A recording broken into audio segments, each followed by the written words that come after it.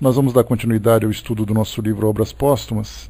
Nós estamos naquele primeiro capítulo falando sobre as crenças e as negações. E quando se fala crenças e negações, como a gente já conversou, falamos sobre algumas das religiões, principalmente das religiões antigas, né, que, que nós já observamos, é, já estudamos aqui no, no nosso mundo antigo, e também sobre as negações. E essas negações ficam a critério do materialismo, que Leon Denis também vai falar sobre isso mais para frente nesse mesmo capítulo.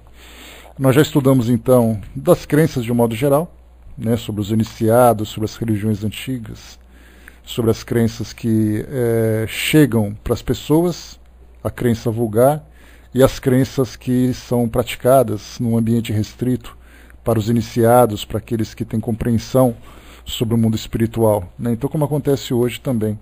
E nós já falamos um pouquinho sobre a Índia, falamos sobre o Egito. Hoje nós vamos falar sobre a Grécia, né? a Grécia que tem tantas histórias para contar. E normalmente nós estudamos, quando se fala sobre Grécia, do aspecto histórico dela. Principalmente na, no cinema, nós temos filmes que falam sobre os combates, filmes que falam sobre os filósofos, mas muito pouco se fala sobre religião. E é aí que a gente vai entrar hoje nesse assunto. É, vamos lá, porque o texto é um pouco longo. Então a gente vai fazer aqui as leituras, tentar fazer comentários breves e pertinentes, né, para a gente não, não atrapalhar. Então, vamos em frente. Entre os povos de iniciativa, nenhum há cuja missão se manifeste com maior brilho do que o da Elad.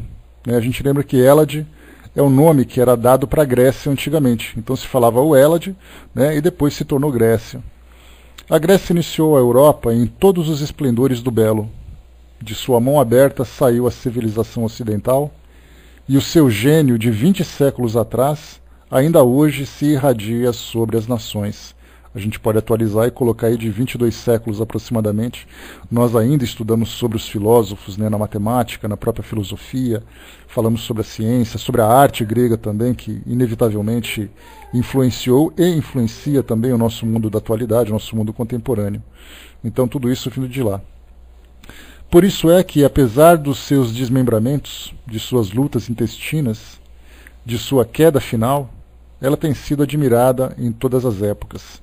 Quando se fala sobre lutas intestinas, fala sobre as guerras que havia dentro da própria, da própria Grécia e também da sua queda, né, com os conflitos que se tinha com os persas, depois a tomada dos romanos, que acabou absorvendo parte da cultura da cultura grega, da cultura grega, né, e hoje nós chamamos até de cultura greco-romana, praticamente unificando as duas, embora houvesse diferenças é, significativas entre elas. Então, a partir da queda da Grécia como uma grande nação, como já aconteceu também com, o próprio, com a própria sociedade islâmica na Arábia, nós tínhamos que os árabes também eram grande potência nas ciências e nas artes.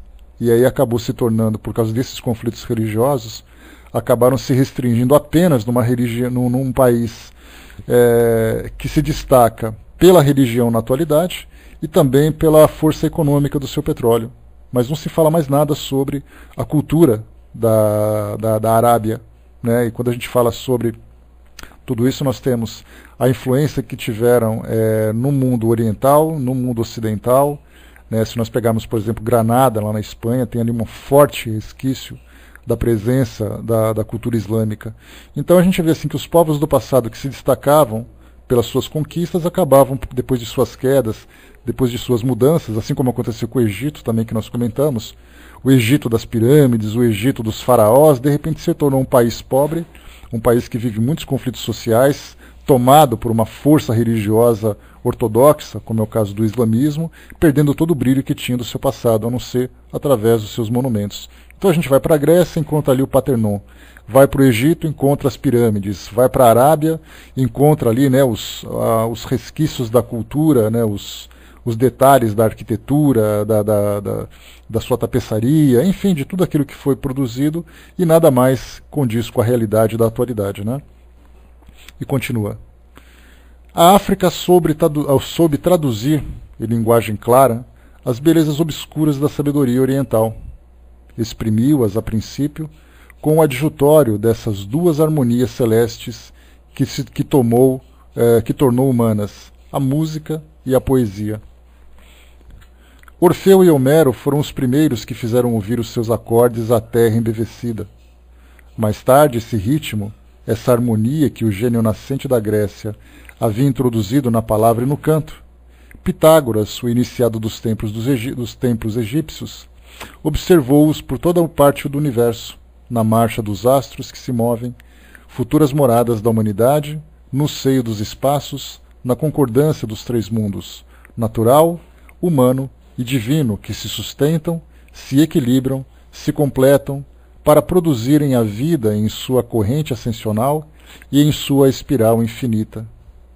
Dessa visão estupenda decorria para ele a ideia de uma tríplice iniciação, pela qual o homem, conhecedor dos princípios eternos, aprendia depurando-se a libertar-se dos mares terrestres e a elevar-se para a perfeição. Daí um sistema de educação e de reforma a que Pitágoras deixou o seu nome e que tantos sábios e heróis produziu. Então já começamos a sair um pouco dos monumentos e da parte histórica e começamos a entrar na mentalidade daquela época, no que dizia respeito a essas leis naturais, a esses cultos secretos, então fazendo com que o mundo fosse dividido em três é, aspectos diferentes, né, em três mundos: o mundo natural, o mundo humano e o mundo divino. E aí então entendemos como eles se relacionam, como eles se equilibram e como eles se sustentam também. Enfim, Sócrates e Platão, popularizando os mesmos princípios, derramando-os em círculo mais lato, inauguraram o reinado da ciência franca, que veio substituir o ensino secreto. E aí já começaram a traduzir todas essas ideias que se tinha do mundo espiritual para algo mais racional. Né? Então a gente lembra que, a princípio, é, aquela ideia dos quatro elementos que compõem o mundo, a terra, o ar, a água e o fogo, eram pensamentos que vinham exatamente desse período da Grécia. Também vinha do período da Grécia a dualidade entre dois mundos, né? o mundo é, do bem e o mundo do mal, o mundo material e o mundo espiritual.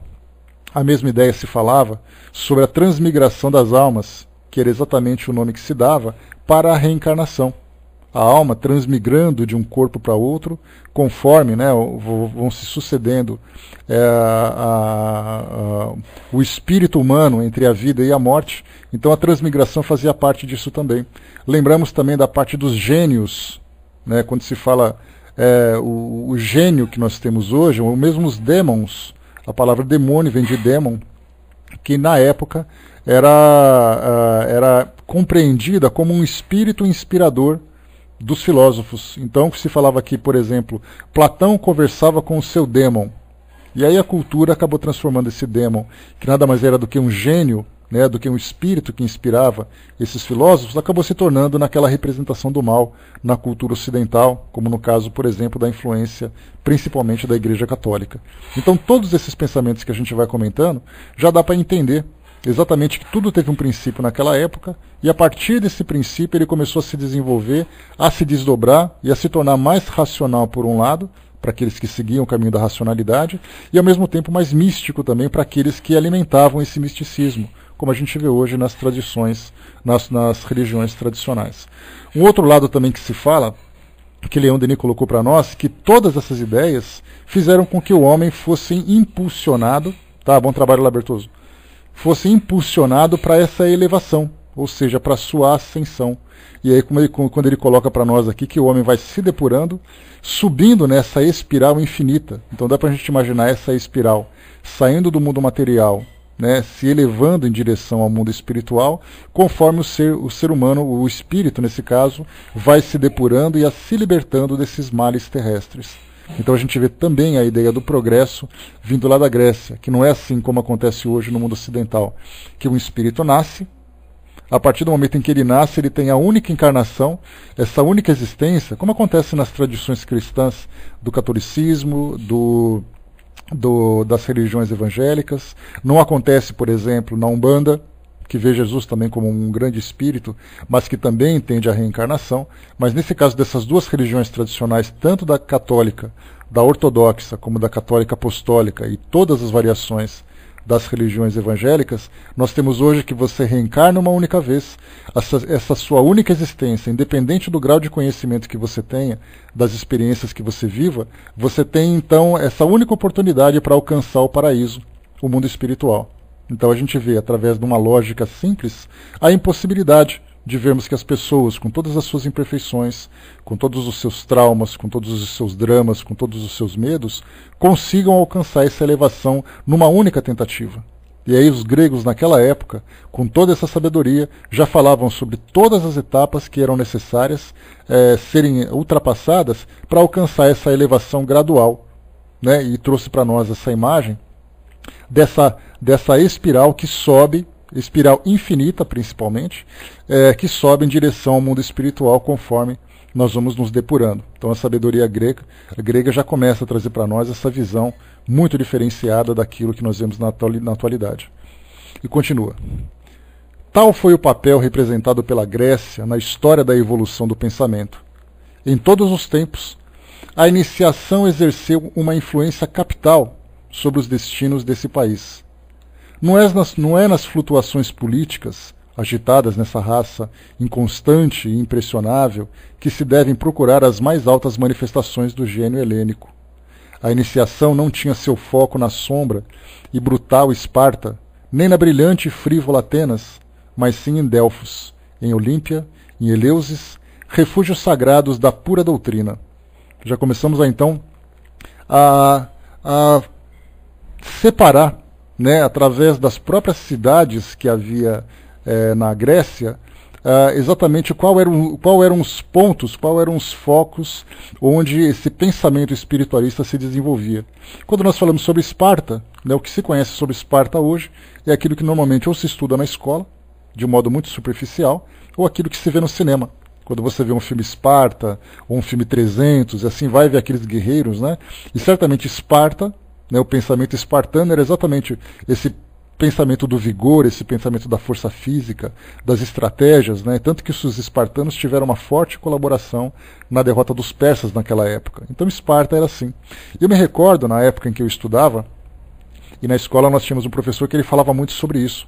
Então começa, primeiro, né, até o mesmo Hermes fez um estudo muito legal, há um tempo atrás, falando sobre suicídio, na Sala Espiritismo Net Brasil, e também falando sobre as mesmas sobre execuções, e ele lembrava que em Esparta, quando uma criança nascia e ela tinha impossibilidade de exercer um papel de soldado dentro daquela sociedade, ela era então lançada né, sobre uma, de cima de um abismo e era então simplesmente ou nesse caso era executada pelos pais ou pela própria sociedade. Então não se, não se tolerava na sociedade espartana uma, uma, uma pessoa que tivesse algum tipo de limitação e não contribuísse para a fortaleza de, da, da, da cidade, né, que eram cidades-estados naquela época, eram independentes. Então a Grécia em si ela não estava ainda unificada. Né? A mesma coisa acontecia com Atenas, né, que era ali um foco de cultura, da literatura, da poesia, mas muito pouco se produzia em termos de evolução espiritual. Então tínhamos ali Esparta, que eram os fortes. Atenas eram os pensadores, mas era em Delfos, em Olímpia, em Eleusis que nós encontrávamos ali o foco de espiritualidade. Tanto que nós temos aquela clássica frase que se encontra no portal de Delfos, né? Conhecereis todos os deuses, é, todos os mistérios dos mundos e do universo, né? Então, é, conhece-te a ti mesmo e conhecereis todos os segredos dos deuses e do universo. Então, quando se fala sobre essa mensagem, já mostra exatamente qual era o propósito. Onde ficavam as pitonisas, onde ficavam ali aqueles que eram os, os sacerdotes das crenças é, da Grécia. Então, essas três cidades eram os pontos onde as pessoas iam buscar onde nós tínhamos ali os redutos de, de, de sacerdotes, redutos de, de artistas que buscavam inspira, inspiração espiritual. Né? E continua para nós. É, era ali que, pela celebração dos mistérios, ela se revelava em toda a sua pujança.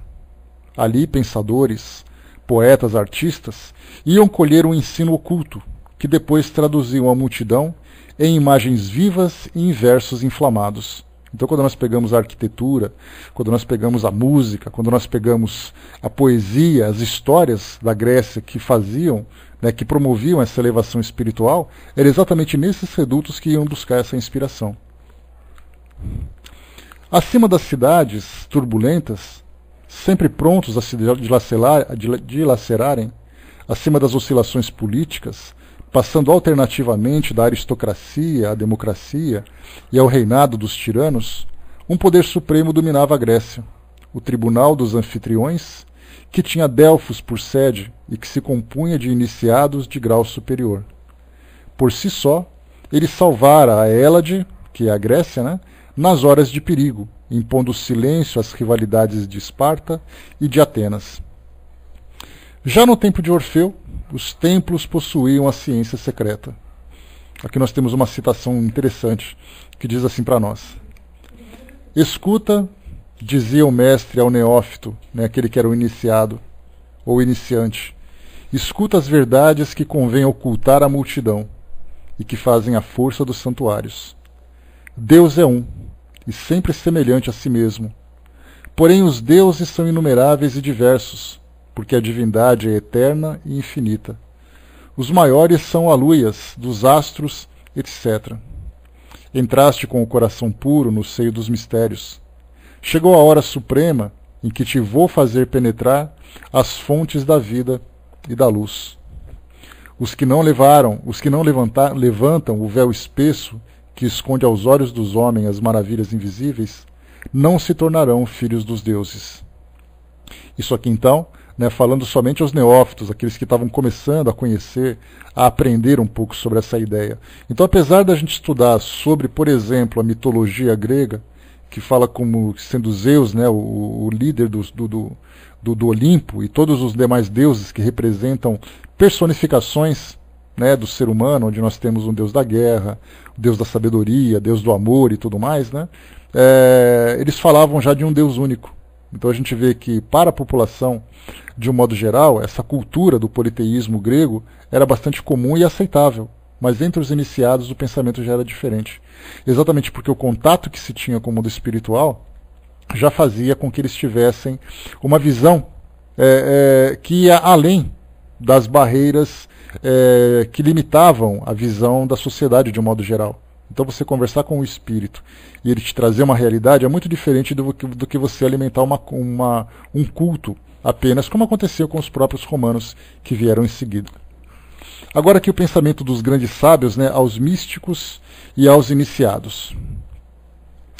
Vinde gozar, vós que tendes sofrido, vinde repousar, vós que tendes lutado, pelos sofrimentos passados, pelo esforço que vos conduz, vencereis e se acreditais nas palavras divina, divinas, já vencestes, porque depois do longo circuito das existências tenebrosas, saireis, enfim, do círculo doloroso das gerações, e como uma só alma vos encontrareis na luz de Dionísios.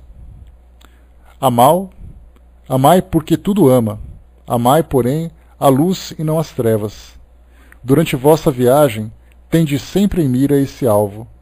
Quando as almas voltam ao espaço, trazem como hediondas manchas todas as faltas da vida é, estampadas no corpo etéreo, e para apagá-las, cumpre que espiem e voltem à terra. Entretanto, os puros, os fortes, vão para o sol de Dionísios.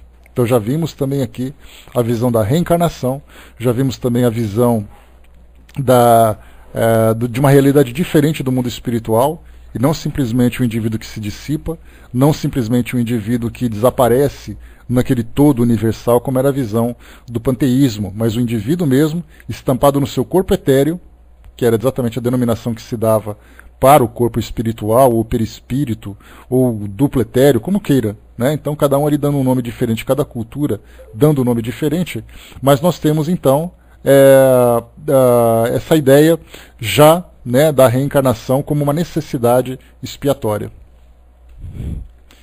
Domina o grupo dos filósofos gregos uma imponente figura, é Pitágoras, esse filho de Iônia, que melhor soube coordenar e pôr em evidência as doutrinas secretas do Oriente, e melhor soube fazer dela uma vasta síntese, que ao mesmo tempo abraçasse a moral, a ciência e a religião. A sua academia de Crotona foi uma escola admirável de iniciação laica, e sua obra, o prelúdio desse grande movimento de ideias, que com Platão e Jesus iam agitar as camadas profundas da sociedade antiga, impelindo suas torrentes até as extremidades do continente. Pitágoras havia estudado durante 30 anos no Egito. Aos seus vastos conhecimentos, juntava uma intuição maravilhosa, sem a qual nem sempre bastam a observação e o raciocínio para descobrir a verdade. Graças a tais qualidades, pôde levantar um magnífico monumento da ciência esotérica, cujas linhas essenciais não podemos deixar de aqui traçar. Antes de entrarmos nessas, é, nessas linhas essenciais que, que Leon Denis comenta, é importante a gente lembrar dessa, do intercâmbio que há entre essas culturas. Então, no caso de Pitágoras, estudado durante 30 anos no Egito, sobre tudo aquilo que aquela cultura podia transmitir, e depois utilizando principalmente a intuição, ou seja, a mediunidade, essa inspiração, que ele podia fazer depois com que o seu conhecimento, que era o raciocínio, e mais a observação, não seriam suficiente para poder formar essa ideia. Então juntava tudo aquilo. Porque hoje nós vemos que muitas vezes a nossa fé se dá por uma questão sentimental, podemos dizer assim. Porque a fé, na verdade, é um sentimento muito forte de alguma coisa que nós acreditamos, por mais ilógica que ela possa parecer, como nós vemos pelo mundo afora. A razão, ao mesmo tempo, espera ali informações que possam ser processadas.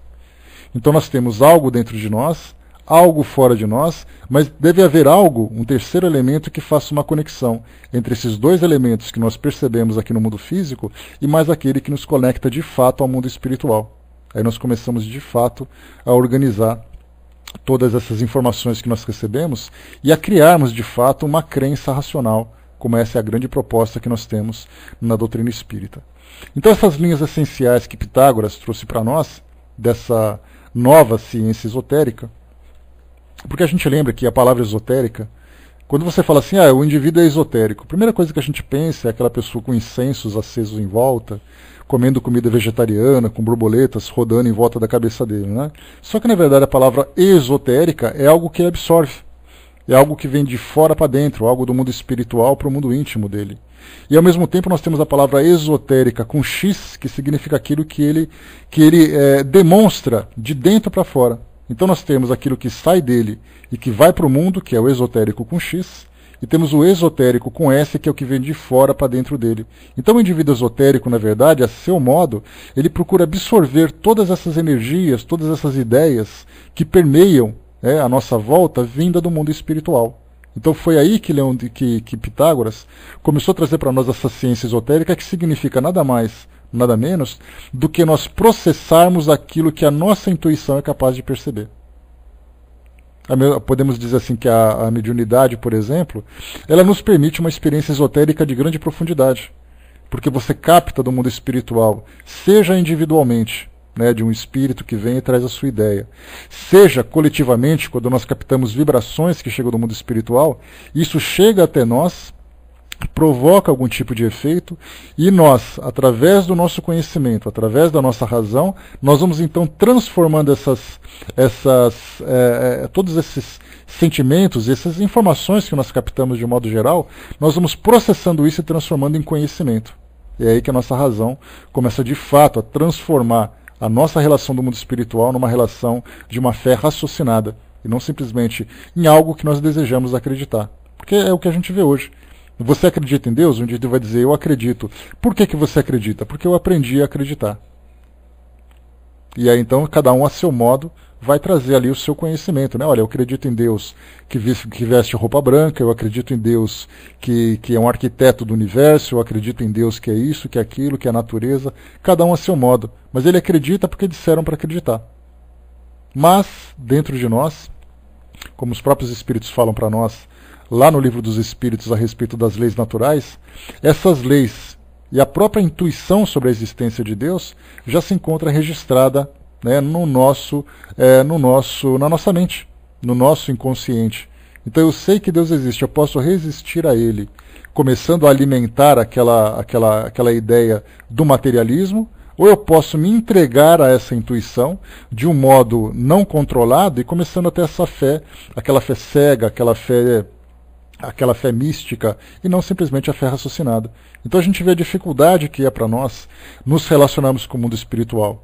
Eu sei que de, uma, que de alguma forma ele existe, tanto é assim que a gente já comentou, que desde os povos mais antigos a ideia da existência de Deus, a ideia da existência do mundo espiritual é algo que sempre fez parte. Se nós pegarmos os aborígenes lá na Austrália e pegarmos aqui as tribos indígenas, é, aqui na, na, na, na, nossa Amazônia, e pegarmos uma tribo africana no meio da África, das, da África das selvas africanas, nós vamos encontrar três grupos diferentes que não tiveram contato e os três têm a sua cultura, né, têm ali o seu entendimento a respeito do mundo espiritual.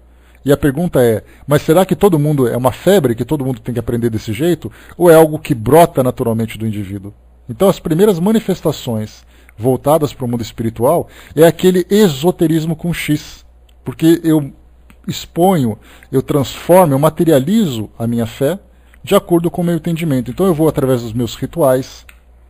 Então nós podemos dizer que rituais, sacramentos, cerimônias e todas as práticas nesse sentido são práticas esotéricas com X, porque eu mostro através dessas ações aquilo que eu acredito. Mas esse esoterismo com S é aquilo que eu recebo do mundo espiritual e que eu vou ter que aprender a transformar. É aí a grande necessidade que os espíritos colocam para nós, que nós devemos estudar com seriedade, com responsabilidade todas as culturas, para que quanto mais informações nós tivermos registradas na nossa mente, mais fácil será nós identificarmos aquilo que nós recebemos como intuição. Se eu não tiver elementos para poder catalogar ou classificar todos esses elementos, eu vou ter um grande problema, porque eu vou receber aquele sentimento e eu vou simplesmente me deixar levar pela, pela, pela exaltação, pelo êxtase que isso me proporciona. Tanto é assim que nós lembramos as pessoas que vivem a mediunidade do êxtase ou os médiums estáticos, eles vivem uma experiência espiritual e depois que eles voltam, eles não conseguem sequer transformar em palavras aquilo que eles sentiram. Muitas vezes só choram, muitas vezes ficam ali embevecidos, embriagados por aquilo tudo, e a gente chacoalha e fala: Me fala aquilo que você sentiu. Eu não consigo, eu só senti. Exatamente porque é uma experiência muito intensa mas ao mesmo tempo, por falta de informação, você simplesmente não consegue decodificar aquilo que você viveu espiritualmente. Né? Então, por isso que Pitágoras trouxe para nós esse início dessa ciência esotérica.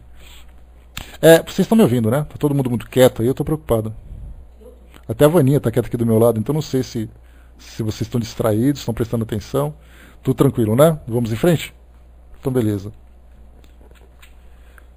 Uh, vamos lá. Podemos então, né, aqui, uh, cujas linhas essenciais não podemos deixar de aqui mencionar. Então vamos com Pitágoras agora. A, es a, a essência em si escapa ao homem, dizia a doutrina pitagórica, pois ele só pode conhecer as coisas deste mundo, em que o finito se combina com o infinito. Como conhecê-las?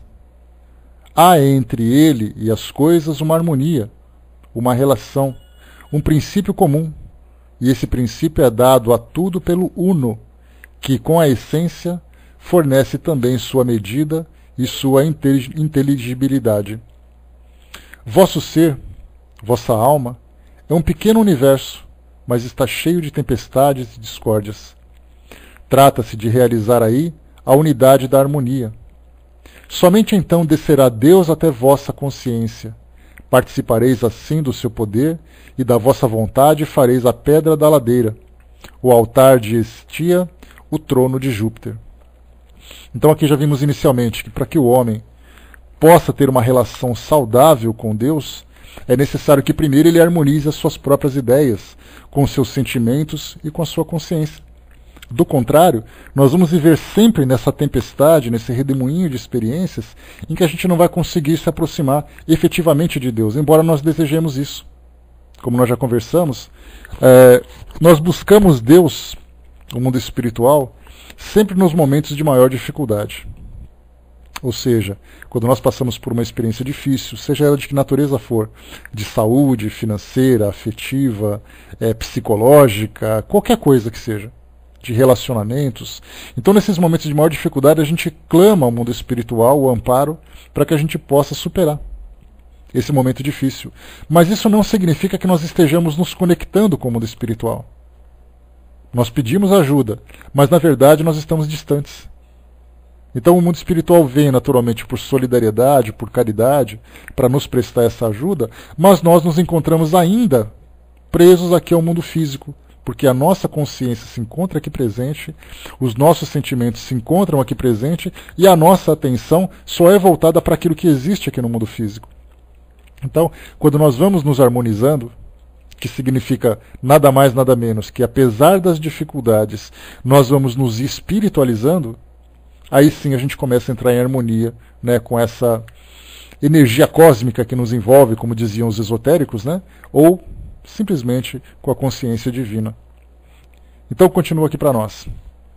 Os pitagóricos chamavam espírito ou inteligência a parte ativa e imortal do ser humano.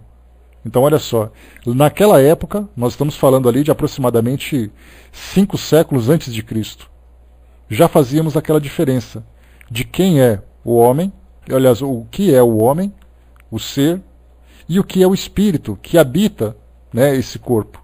É, na verdade, o, o homem ele é visto como apenas matéria, e o espírito é exatamente essa essência que habita esse ser. E continua: a alma para eles o espírito envolvido em seu corpo fluídico e etéreo. O destino da psique, a alma humana, sua queda e cativeiro na carne, seus sofrimentos e lutas, sua reascensão gradual, seu triunfo sobre as paixões e sua volta final à luz, tudo isso constituía o drama da vida, representado nos mistérios de Eleusis como sendo o ensino por excelência. Então a gente vê Eleusis era aquela cidade juntamente com Olímpia e como Delfos, que também transmitia essa ideia, que falava que aqui o mundo físico é exatamente o mundo do sofrimento, das lutas e da dor. E a partir do momento em que nós conseguíssemos vencer essas dificuldades, que aqui os pitagóricos chamavam também de os dramas da vida, então toda a nossa história, né, se nós pudéssemos contar a nossa vida como se fosse um filme, qual seria exatamente o filme que nós contaríamos? Qual seria o gênero desse filme? Algumas vezes romântico, algumas vezes comédia, algumas vezes suspense, terror, algumas vezes drama. Então, recheado com todas essas experiências, é o que forma esse grande drama da vida que todos nós vivemos. E quando nós conversávamos numa outra oportunidade, nós perguntávamos assim: é, quem vive a maior dificuldade entre nós aqui numa experiência pessoal? Aí um levantaria a mão e falaria, não, a minha dificuldade é um problema, eu tenho um problema, eu também vivo um outro problema, aí o outro se manifesta, cada um manifestando as suas dificuldades. Aí nós brincamos, né? Vamos sentar numa grande mesa redonda, todo mundo pega o seu prontuário pessoal com seus problemas, dificuldades, medos, frustrações, conquistas e passa para o companheiro do lado e ele vai ler o seu e você vai ler do outro. E nós vamos perceber que todos nós vivemos essa dificuldade. E por que isso tudo? Porque é uma característica do mundo que a gente vive hoje mundo de provas e expiações. Tanto é assim que quando nós estudamos na própria doutrina esses chavões que chegam para nós, mundo de provas e expiações, lei de causa e efeito, são palavras, expressões que nós vamos decorando sem entender o seu sentido. Agora, quando nós começamos a aprofundar o nosso conhecimento e falamos sobre mundo de provas e expiações, provas e expiações nada mais são do que componentes dos dramas da vida significa que todos nós, espíritos imperfeitos, ainda vivemos esses tropeços, vivemos essas faltas. Consequentemente, estamos todos no mesmo patamar. Estarmos vivendo num mundo como esse, salvo as exceções dos missionários que chegam até nós, e ainda assim missionários que têm compromissos ainda, eles conseguem trabalhar mais apesar das suas dificuldades. Tem outros que têm dificuldades que provocam maiores dificuldades para que ele possa desempenhar o seu trabalho. Né? Então está indo ali. Filomena indo trabalhar. Então, quando nós falávamos, por exemplo, sobre, é, sobre essas, é, esses missionários, é, eu cheguei a postar essa semana, né, e alguns de vocês devem ter visto, né, para quem se inscreveu lá no nosso, no nosso grupo, no Facebook, eu coloquei para vocês ali uma, algumas cartas que foram publicadas de Mahatma Gandhi, que ele escrevia ao filho mais velho, que era um filho que se envolvia com drogas, era um filho que tinha praticado estupro, era um filho que alguns documentários dizem para nós que era um filho que vivia a homossexualidade. Filho de Gandhi. Então a gente pensa assim, nossa, mas o Gandhi era aquele grande homem que transformou o mundo e tudo mais, mas quais eram os seus dramas? Madre Teresa, a mesma coisa, que também fez o que fez perante a humanidade, para a humanidade, em benefício da humanidade, mas vivia também os seus dramas de fé, a sua infelicidade por não sentir intensamente aquilo que ela vivia, aquilo que ela praticava. Nós pegamos, por exemplo, vamos ver ali um alguém mais é, que também teve expressão, Papa João Paulo II. Todo mundo imagina assim, mas o Papa era uma, um fofo, o Papa era uma pessoa muito especial, o Papa era um, uma pessoa que trouxe grandes realizações para nós, mas acabou desencarnando através de toda aquela agonia, de todas as críticas que ele sofreu. Então a gente vê que mundo de provas e expiações é um mundo permeado com dramas, e cada um com o seu próprio drama. E esses são os dramas da vida que conforme foi colocado para nós. E todos aqueles iniciados, todos aqueles que eram os místicos e os mesmos neófitos que estavam se aproximando dessa cultura grega, já começavam também a aprender sobre tudo isso. Mas para que você pudesse ter contato com essas informações, contato com essas revelações, digamos assim, você precisaria se dedicar a isso. Então nós pensamos num país que estava se formando, com guerras internas, com ataques externos, com rivalidades entre as pessoas. Tudo isso com pequenos núcleos tentando explicar, demonstrar esses mistérios da vida, sendo que eles viviam no meio daquela turbulência toda.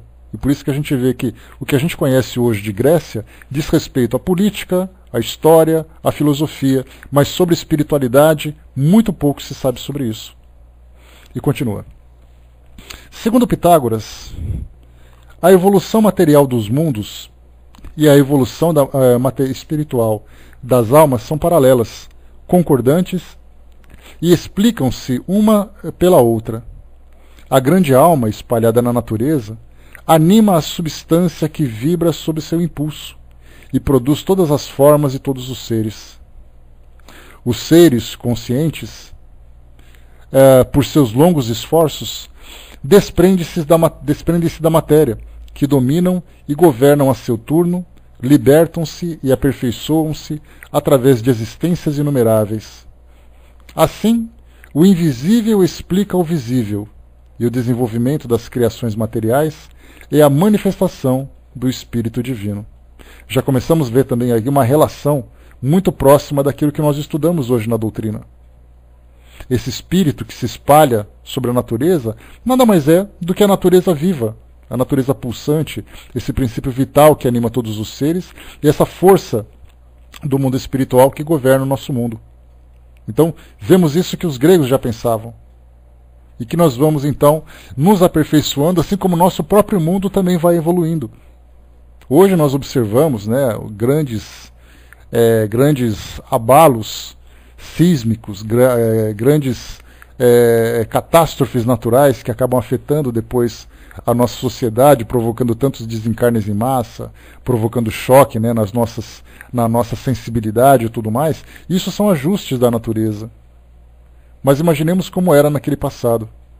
Se hoje nós achamos que temos um problema, porque acontece no nosso mundo hoje uma média de 10 terremotos por dia daquela intensidade de 9 graus na escala Richter, que é o máximo que foi computado, né? apesar de já termos ultrapassado essa escala, nós temos assim uma média de 4 ou 5 pontos na escala Richter todos os dias. Basta apenas que a gente faça um acompanhamento de alguns sites que fazem pesquisas geológicas, que nós vamos ver esses registros. Então, se hoje, nesse tempo todo, nós temos tantos transtornos provocados por esses abalos, que consequentemente rompem placas né, que provocam depois a erupção de vulcões que estavam adormecidos, é, tsunamis e outras, né, outros transtornos, imaginemos no passado como era. Em que isso acontecia o tempo todo, não havia registro, mortes que aconteciam para todo lado.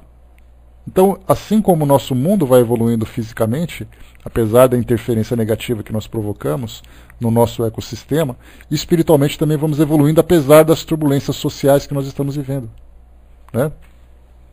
Né? É, foi, foi coisa complicada, viu, o Brás? Até teve uma coisa diferente aqui em São Paulo, mas todo mundo sobreviveu, não teve problema não. O Braço colocou a grande alma dispersa na natureza deve ser o princípio vital. Na verdade, ele fala sobre Deus, né, Brás?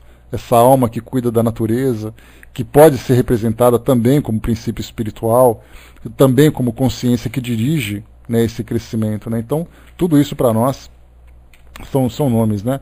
É, porque assim, quando se fala sobre princípio vital, é um princípio que dá vida.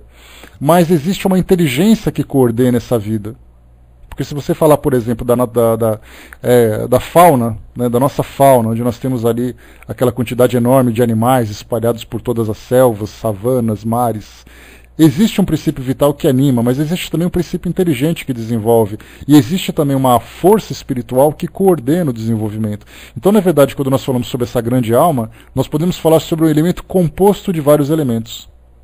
Inclusive da própria, dos próprios minerais que não possuem esse princípio vital. Então tudo isso existe uma. Para nós é muito difícil, né? É grande pretensão da nossa parte conseguirmos ou desejarmos entender é, o que significa exatamente, exatamente essa, essa uh, grande energia. Mas né, é, é um elemento composto que coordena tudo, minerais, os animais, os seres vivos mais primitivos, os seres vivos mais desenvolvidos, tudo isso existe grande coordenação. Né? Então, nós não temos ainda condições de desmembrar tudo isso para tentar identificar cada uma dessas partes. E continua. E como foi colocado para nós, né, olha só de novo aqui Leon Denis. Assim o invisível explica o visível, e o desenvolvimento das criações materiais é a manifestação do Espírito Divino. O que seria esse Espírito Divino? Nada mais é do que o próprio Espírito de Deus, a vontade de Deus se manifestando sobre todos os seres. Continuando. Procurando-se nos tratados de física dos antigos a opinião deles sobre a estrutura do universo, enfrentam-se dados grosseiros e atrasados. Esses não são, porém, mais que alegorias. O ensino secreto dava, sobre as leis do universo, noções muito mais elevadas. Diz-nos Aristóteles que os pitagóricos conheciam o movimento da Terra em torno do Sol a ideia da rotação terrestre veio a Copérnico pela leitura de uma passagem de Cícero, que lhe ensinou Tericetas, discípulo de Pitágoras, falando no movimento diurno do globo. No terceiro grau de iniciação, aprendia-se o duplo movimento da Terra. Então, o duplo movimento da Terra em torno de si mesmo, um movimento de rotação, e em torno do Sol, um movimento de translação.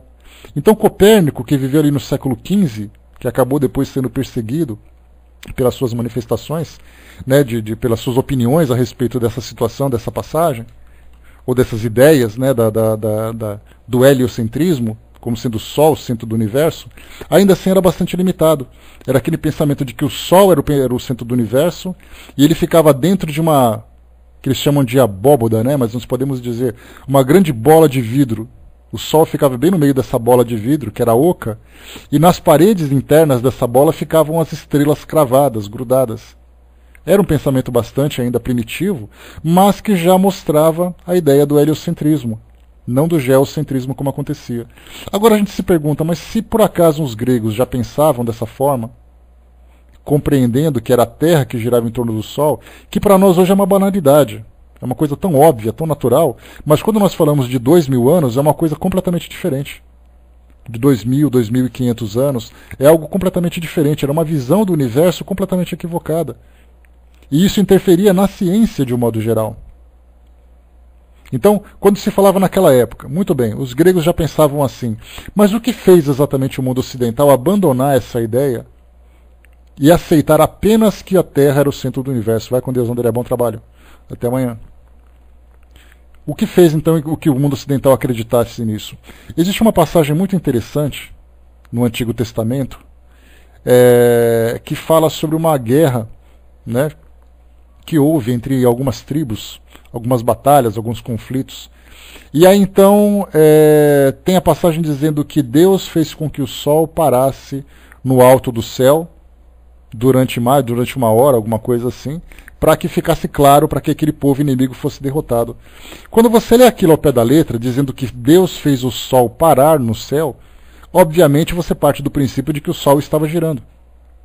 Então, aqueles daquela época que leram essa passagem e fizeram essa interpretação ao pé da letra, por serem textos sagrados que traziam essa informação, acabavam abandonando o pensamento científico. E aí então começou a surgir aquele conflito entre ciência e religião, entre ciência e fé. Continuando. Como os sacerdotes do Egito, seus mestres, Pitágoras sabia que os planetas nasceram do Sol em torno do qual giravam, e que cada estrela é um Sol iluminando outros mundos, e que compõe, no seu cortejo de esferas, outros tantos sistemas siderais, outros tantos universos, regidos pelas mesmas leis que o nosso. Essas noções, porém, jamais foram confiadas ao papel. Constituíam um ensino oral, comunicado sob sigilo. O vulgo não as compreenderia, considerá-las considerá-las considerá-las ia como contrárias à mitologia e por conseguinte sacrílegas, ou seja, era um sacrilégio. Porque a mitologia, os deuses criando os mundos, os deuses fazendo e acontecendo, e você fala nada disso. Os deuses estão errados. Dá para a gente imaginar o que representava isso naquela época, como acontece hoje, né? como aconteceu recentemente na Idade Média e como acontece hoje na atualidade que a gente tem até hoje pessoas que entram em conflito ainda com aquele pensamento dizendo que Deus criou o homem a partir de Adão e Eva, né, ao contrário do que a ciência diz, através da teoria de Darwin, né, que o homem nada mais é do que uma evolução dos reinos inferiores. Então, como acontecia naquela época, acontece também hoje. E continua. E aí, principalmente falando que esses ensinamentos, por serem tão preciosos e não terem possibilidades de registro, acabavam sendo transmitidos oralmente. Então um falava para o outro, eram feitas aquelas reuniões, aqueles estudos, né? Dá para a gente viajar um pouquinho assim na nossa imaginação, imaginar aquelas reuniões secretas, né? Onde eles conversavam sobre mistérios ocultos que ninguém sabia. Aquele olhar ávido, né? Aquele olhar sedento de informação daqueles que eram os mais novos e aquela experiência dos mais antigos transmitindo esse conhecimento apenas oralmente. E continuando. A ciência secreta também ensinava que um fluido imponderável se estende por toda parte e que tudo penetra.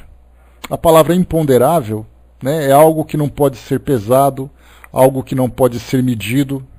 Né, então é chamado então de fluido imponderável. Então por toda parte tudo penetra. A gente já começa a ter aquela ideia do fluido cósmico universal. Né? Pois é, nada, nada mole, né, Zé? E continua.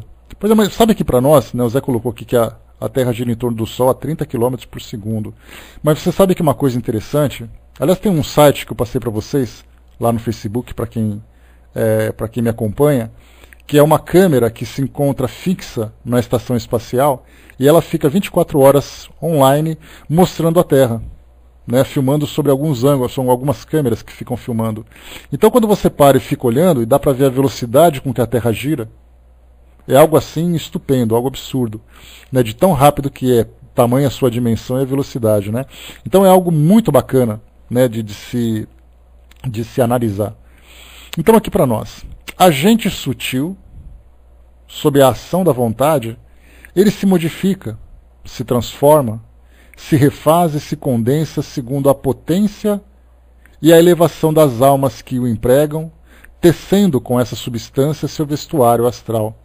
Então já começa a falar também aqui né, da manipulação desse fluido, que ele age de acordo com a vontade, se modifica, se transforma e se refaz, e se condensa segundo a potência. Essa potência nada mais é do que, do que as mentes, né, do que os espíritos, né, e também a elevação dessas almas que o empregam. Porque você pode utilizar essa sua potência para você criar uma, um elemento pequeno, singelo, pessoal, como você pode criar algo né, que vai muito além da nossa compreensão. Kardec fala no livro A Gênese, na passagem que fala sobre, sobre é, é, os espíritos, as grandes potências do universo, que eles tiveram duas grandes reuniões aqui próximos ao nosso mundo próximos ao nosso planeta. A primeira grande reunião onde essas superconsciências, vamos dizer assim, essas mega consciências se reuniam, foi na época da formação do nosso planeta. Isso Kardec trazendo como informação do mundo espiritual na Gênese. E a segunda reunião foi quando exatamente programavam a vinda de Jesus, que era exatamente aquele espírito que tinha por objetivo transformar o nosso mundo na escala evolutiva. Então estamos vivendo experiências assim e vimos que essas grandes consciências manipulavam esses fluidos para que tomassem forma, de acordo com os propósitos, de acordo com o projeto divino para os mundos que existem aqui no nosso, no nosso universo. Né? Então a gente vê assim que simplesmente a matéria por si mesma, se ela se, se como, como hoje a ciência fala sobre isso, né? a ciência é, é, utiliza as leis naturais conhecidas da química, da física, onde nós temos leis de atração, nós temos reações químicas, que acabam formando elementos para que é, é, forme também o universo. Então eu falo assim, o planeta, como é que o nosso planeta foi criado? Ah, ele foi criado por lei da gravidade, porque o acaso fez isso, o acaso fez aquilo. Poeticamente, nós temos aqueles que dizem né, que o acaso nada mais é do que a assinatura de Deus que não quer ser reconhecido, né? ou seja, a assinatura anônima de Deus. Então ele assina como um acaso. Então você vai conversar com cientistas porque ele vai dizer que a matéria se juntou, se aproximou, se aproximou, começou a fazer rotação, depois formou um Sol, depois formou um planeta. Tudo isso aconteceu por acaso, de acordo com as leis. E aí nós pensamos assim, quando nós começamos a ter um pequeno conhecimento a respeito dessas leis, nós perguntamos assim, mas quem fez essas leis? Naturalmente a ciência vai dizer não, a lei é simplesmente lei. E aí nós sabemos que as coisas que acontecem, né, ou seja, esses fenômenos que acontecem, são direcionados com um propósito. Porque o acaso não cria, não cria nada, como o próprio Kardec lembra num axioma. O acaso não é inteligente. O acaso não é que, que é capaz de fazer grandes criações. E quando ele estuda sobre Deus também no livro A Gênese, ele diz assim, né, que toda tudo aquilo que foi criado partiu de alguma coisa inteligente. Se você encontrar um relógio enterrado no deserto, você sabe que alguém criou aquele relógio. E quando você olha um planeta com todas as, com todas as vidas, com toda a sua estrutura, quem criou aquilo? Alguma coisa criou aquilo. E quanto maior a criação, maior a inteligência. Então a gente parte desse princípio, até mesmo para compreender a existência de Deus. Você pode não entender quem é Deus, o que é Deus, onde ele vive, o que ele faz. Mas quando você vê alguma coisa criada, você tem que imaginar que alguém criou aquilo. E o acaso não é capaz de criar isso. E continua. Um, é o traço, né, antes de continuar, a Miriam colocou aqui, né, mesmo sendo essas forças manipuladas por esses espíritos, nada teve de miraculoso, tudo estava submetido às leis da natureza, muitas que ainda desconhecemos. São leis básicas, né, como eu falei para vocês, as leis naturais né, elas existem dentro do mundo físico, dessas leis que nós conhecemos, as leis do mundo físico, e também leis do mundo espiritual, leis que nós estamos aprendendo a conhecer agora. As leis mais básicas, como por exemplo a lei da gravidade, né? a lei nuclear forte, a lei nuclear fraca, a lei da gravidade, é, é, outras leis também que são criadas, elas já são conhecidas. Conhecidas estão sendo estudadas e outras vão surgindo. E essas que vão surgindo ainda demandam de nós um grande esforço para compreendermos. Uma tal da matéria escura, por exemplo, que, que existe no universo quase como um todo, essa matéria, matéria escura exerce força da gravidade, ótimo, mas o que mais ela faz? E aí então essas subpartículas atômicas que a gente vai estudando, esses pequenos elementos, que a gente descobre a sua existência e depois a gente pensa, tá, eu sei que ele existe, mas do que ele é capaz de fazer? E aí são coisas que a gente vai conhecendo também. E continua. É o traço de união entre o espírito e a matéria, tudo gravando-se nele, refletindo-se como imagens em um espelho, sejam pensamentos ou acontecimentos. Pelas propriedades deste fluido, pela ação que a vontade sobre ele exerce, explicam-se os fenômenos da sugestão e da transmissão do pensamento. Os antigos chamavam-lhe, por alegoria, Véu misterioso de Ísis, ou manto de Cibele, que envolve tudo o que existe. Esse mesmo fluido serve de veículo de comunicação entre o visível e o invisível, entre os homens e as almas desencarnadas. Então tá aí, né, quando a gente fala sobre perispírito, quando fala sobre fluido cósmico universal, sobre magnetismo, tudo isso já sendo estudado, tudo isso já sendo compreendido pelos gregos. Nós apenas mudamos de nome e compreendemos um pouco mais. Aliás, quando se fala, Leon lembra aqui, né, o, por alegoria, o misterioso véu, o véu misterioso de Isis. Por trás do véu de Isis é um livro escrito por Marcel Sotomayor que fala sobre o mundo espiritual das experiências do Chico Xavier. Exatamente por isso, quando você levanta o véu de Isis, você começa a ver os mistérios que existem no mundo invisível. Então essa alegoria dos gregos é exatamente isso que o espiritismo procura fazer hoje levantar esse véu de Ísis que era uma deusa grega, é uma deusa egípcia, a gente lembra, que levanta esse véu de Ísis, a gente começa então a compreender uma realidade que até então era desconhecida. Porque antes do Espiritismo, nós tínhamos ali religiões tradicionais que traziam interpretações do mundo espiritual. Tanto do mundo oriental, como do mundo ocidental, do Oriente Médio, da África, cada um trazendo a sua interpretação. As mitologias de várias civilizações, como a nórdica, como a americana, como os célticos, como, como os, os próprios é, os próprios hebraicos, né, os hebreus na época. Então, cada um trazendo a sua mitologia. O greco-romano, a mesma coisa. E então a gente está, cada um com a sua fantasia, cada um com a sua história, cada um mais bonito do que o outro. Aí a gente vai para o cinema e mostra ali aqueles atores e atrizes maravilhosos, né, cada um interpretando um deus diferente. E a gente começa a pensar: ah, quer dizer que o Thor então parece com aquele ator que fez Os Vingadores? Quer dizer que a Poderosa Isis, né, para quem assistia a Poderosa Isis, vocês se lembram, né? Aquele seriado da década de 70, 80. Então a Poderosa Isis era aquela mulher maravilhosa, só que aquela atriz envelheceu, desencarnou, tinha ali problema com o marido, tinha problema com o filho. Não era, né, Miriam? Tô ligado que você não, não via essas coisas. Então, a gente começa a materializar o mundo espiritual de acordo com as nossas fantasias. O próprio Jesus, por exemplo, tá, também é outra. Todo mundo, é. Ninguém aqui tem culpa agora, todo mundo é inocente. Então, a mesma coisa acontece com Jesus. Quantos filmes foram produzidos e quantos atores já interpretavam Jesus? E quando você fala assim, você mostra para uma criança: olha, esse aqui é um filme sobre Jesus. Aí tem aquele ator cabeludo, barbudo, que anda com aquela roupa e coisa e tal. Depois de uns anos você pergunta: pense em Jesus. Qual é a primeira imagem que vem? Do ator. Porque ele se, se, se transfigurou naquela personagem. Né? Então, quando se fala sobre então esse véu de Isis que é levantado, a gente começa então a sair do mundo material, que acabou materializando e criando fantasias e alegorias a respeito do mundo físico, do mundo espiritual, e começamos a entrar na sua realidade. Ainda que seja uma realidade é, incompleta, teórica, já que nós não conseguimos ainda ver o mundo espiritual, pelo menos não como os médiums videntes, ou sentir como os médiums que são sensitivos mas nós começamos a formar uma ideia na nossa mente. E ainda com muita dificuldade. Tanto é assim que a gente já conversou sobre isso, as dificuldades que nós temos, né, os de entendimento dentro da própria doutrina, em alinharmos os nossos pensamentos sobre determinados temas.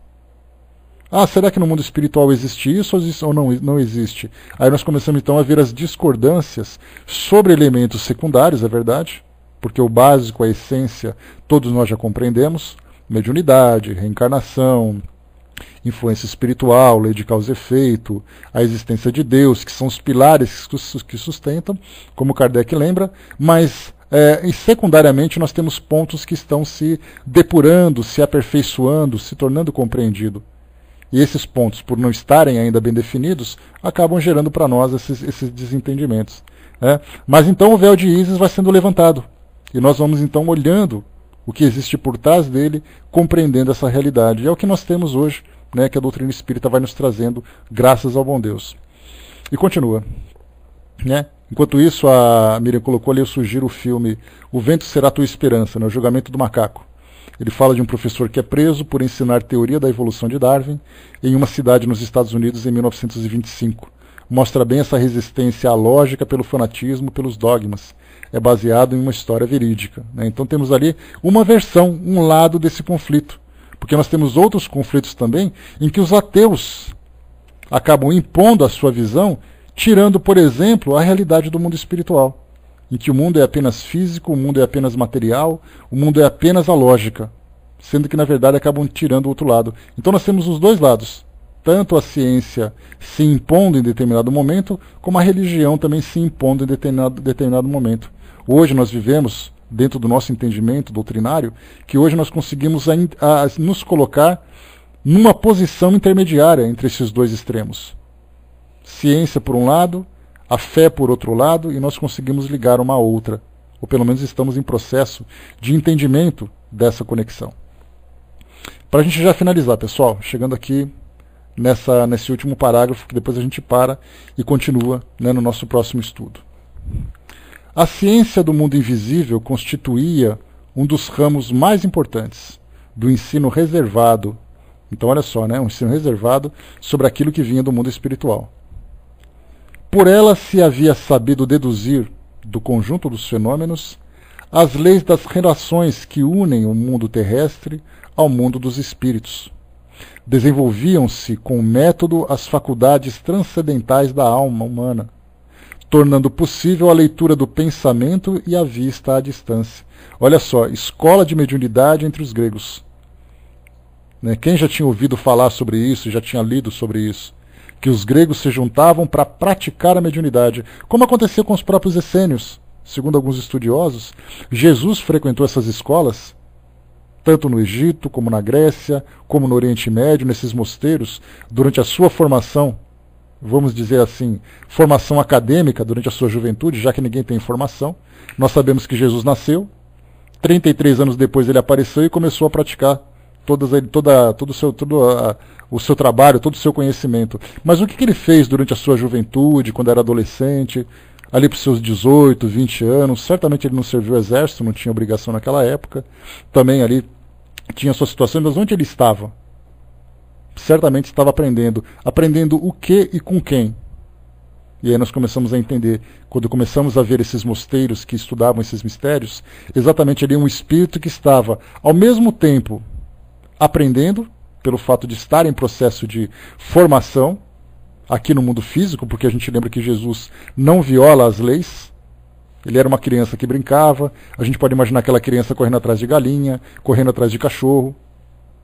Ou todo mundo acha que Jesus, depois que nasceu, ele sentou e ficou sentado igual um Buda, pensando enquanto ele era criança.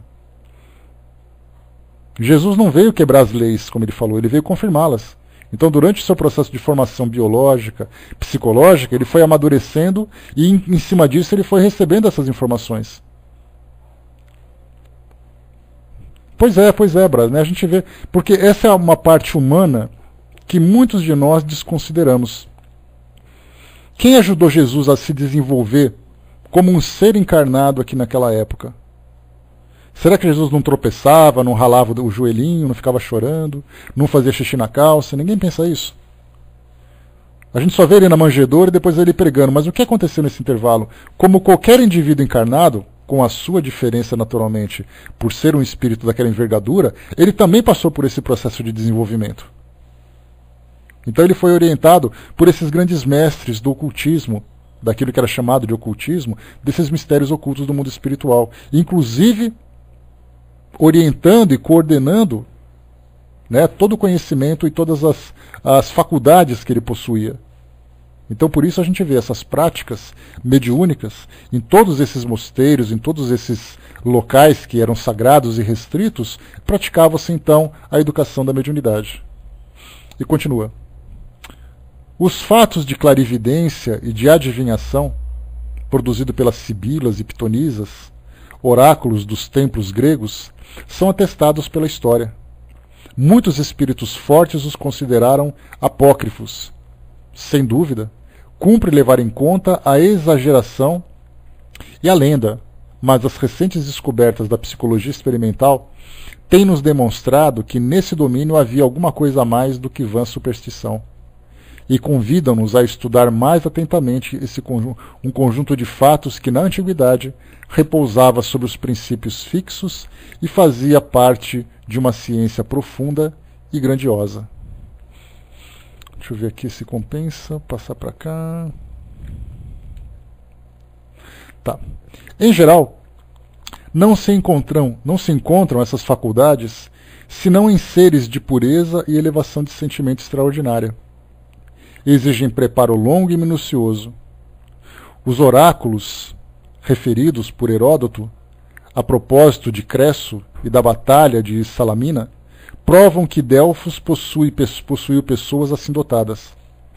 Mais tarde, é, imiscuíram-se abusos nessa prática. A raridade das pessoas assim, felizmente dotadas, tornou os sacerdotes menos escrupulosos na sua escolha, na sua escolha. Corrompeu-se e caiu em desuso a ciência adivinhatória. Segundo Plutarco, a desaparição dessa ciência foi considerada por toda a sociedade antiga como uma grande desgraça. Né? Então já viu aqui que assim como aconteceu também com Moisés naquela época, que a gente já falou sobre isso, a época do, do Antigo Testamento, onde nós tínhamos ali, por exemplo, né, como, é, como Deuteronômio, que é um livro importante né, do Pentateuco hebraico, né, na Bíblia, para quem quiser. Tem um, se vocês tiverem oportunidade, dê uma chegadinha depois no Google e colocam lá Deuteronômio. Aí vocês vão encontrar Antigo Testamento tal. Leiam aquilo. Porque aquilo nada mais era do que uma lei, uma lei que regia, né, o Deuteronômio era uma, uma reafirmação daquelas leis, que regiam aquela sociedade e falavam também sobre essas práticas espirituais, que acabavam sendo proibidas. Então, ou seja, naquela época houve essa corrupção da faculdade mediúnica e entre os gregos também houve. E a gente vê que o ser humano é ser humano em qualquer lugar. E na atualidade também, você é médium, você pode ser ali um charlatão, você pode ser um manipulador, pode ser um médium legítimo. Viveram experiências dessa natureza. Né, colocou, né, teve um polonês que ao final da palestra veio conversar comigo e disse que Jesus nunca existiu, é tudo história. Né, me deu vontade até né, me deu até vídeos no YouTube para provar a teoria. Um dos argumentos era que, dele era justamente essa falta de informação dele do nascimento até 33, 33 anos. Né? Você sabe, Bertoso, tem assim, muitos vídeos, principalmente produzidos por grupos ateus, que na verdade não desejam atacar Jesus, desejam atacar a forma como a igreja, as instituições religiosas na atualidade, acabam trazendo esse conhecimento. Então, na verdade, é uma guerra de ideologias. A ideologia materialista e a ideologia espiritualista dessas instituições. Então, nós temos né, uma, uma, a, alguns pensamentos é, mitológicos a respeito da vida de Jesus. Que, por exemplo, nascer de uma mulher virgem, ser crucificado. Nós temos outra personalidade na história entre os sumérios que também tinha essa mesma história. Então muitos vão dizer assim, mas é isso e aquilo. Mas aí a gente começa a pensar o seguinte, que é, é, entre os romanos, né, nós temos histórias ali que houve realmente essa perseguição, houve essa, essa influência, essa vivência dessa personalidade. Então fatos históricos realmente nós não temos. Se você falar assim, me mostra um documento, nós temos ali documentos romanos, que, algum um documento romano que fala sobre isso, e as, as informações que chegam no mundo espiritual. E, naturalmente, a, a forte influência que existiu da existência de Jesus, como foi o caso, por exemplo, da mudança desse calendário que nós temos aqui no nosso planeta, pós-Jesus e pré-Jesus. Ou alguém genial, que tinha uma criatividade absurda, foi capaz de fazer uma, uma publicidade, uma promoção dessa ideia que o mundo todo foi capaz de, foi capaz de compreender, ou de fato ele existiu nós partimos do princípio de que ele existiu. É uma questão de fé? Sim, é uma questão de fé. De educação? Também de educação. Mas de confiança também daquilo que o mundo espiritual nos proporciona. Mas ainda é tema de muito debate. Né? Esse foi um, um dos argumentos que ele trouxe, que certamente muitos outros partilham também. Uh, deixa eu ver aqui, o Braço colocou, né? Para desmentir a história de Jesus, tem que provar que o Império Romano não existiu, né? Porque é, para nós né, existe essa relação muito íntima mas a história romana de modo geral, né, ela fala muito mais das conquistas e tudo aquilo que eles viveram. Mas enfim, né, terminamos por aqui, pessoal, o nosso estudo de hoje. É, nós paramos aqui na página número, número, número 28. Toda a Grécia acreditava na intervenção dos espíritos em coisas humanas. Né, falaremos sobre isso também. Então esse é o nosso estudo de hoje. Terminamos por aqui. Né, vou passar para é, nossa amiga Fernanda, que vai fazer o encerramento para nós, e daqui a pouquinho a gente volta. Né? Então, é, é, um detalhe interessante, Braço, que você colocou sobre Alexandria, é que nós temos, por exemplo, no próprio Alcorão, né, a Vaninha vindo para cá me trouxe um, um Alcorão de presente que ela ganhou lá na feira de livros, lá na Bienal que teve no Rio de Janeiro no passado. E ali você, dentro do Alcorão, você tem estudos sobre José, sobre Maria e sobre é, Jesus. Então não é simplesmente uma ideia cristã difundida pela igreja. É também um estudo feito pelos muçulmanos naquela época, pelos árabes, né, pelos persas de modo geral, e também para toda aquela, toda aquela comunidade que também tem registros sobre isso. Então você pensa, são grupos diferentes falando da mesma coisa. A gente vai também para aquela ideia do controle universal. Maomé já falava sobre Jesus.